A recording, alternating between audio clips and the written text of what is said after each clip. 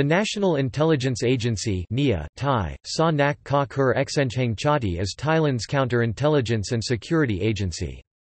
It serves as part of the Office of the Prime Minister OPM. Its headquarters is in Paruskavan Palace, Bangkok.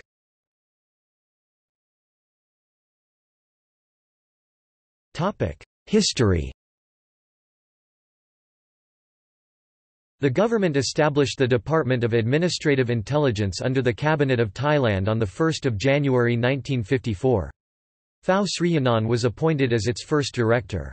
On 2 December 1959 it was renamed the Department of Central Intelligence and renamed again as the National Intelligence Agency during the government of Prime Minister Prem Tinsulanonda. In 1985, the National Intelligence Act, B.E. 2528 1985 made the NIA the lead Thai intelligence agency.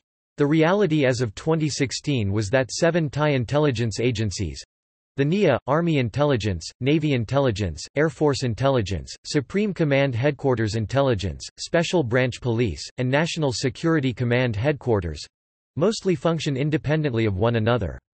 In 2017, a plan was hatched to consolidate the efforts of 27 separate Thai intelligence agencies.